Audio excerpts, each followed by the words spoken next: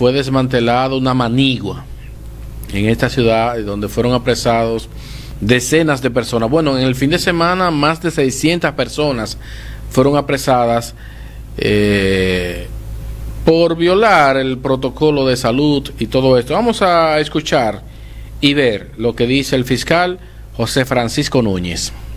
Miren, el día de ayer llegaron denuncias, imágenes de que esto es un restaurante disfrazado de bar. Como usted puede ver la mesa, la silla inmobiliaria, esto es un bar. No solamente por el toque de queda que el Ministerio Público y la policía intervienen, el distanciamiento social y el uso de mascarilla, porque los videos están ahí.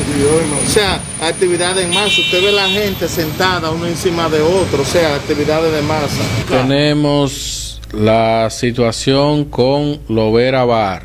La, la mesa de, de, de comida tiene que ser necesariamente cuadrada o rectangular. O pueden ser de otra vamos, vamos a ver la historia que hemos preparado en torno a los apresados del toque de queda, porque nosotros hemos dicho aquí que la principal contaminación es esa y volvemos otra vez a reiterarla. Aunque no, no es que estamos en contra del uso de la mascarilla y el protocolo. No, no, no, porque ya eso es diferente. Eso es otra cosa. La principal contaminación Sí. es esa. Vamos a ver.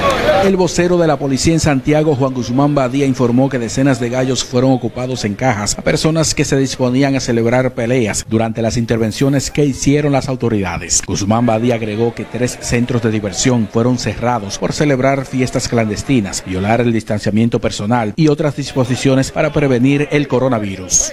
Ahí está. Pues Ahí está lo que tenemos. O sea, que fue que ellos iban pasando y lo agarraron y le dijeron, venga para acá. No, ellos estaban en una manigua, Ah. una gla- gallera clandestina. Ah, pero... Le pero- llaman manigua.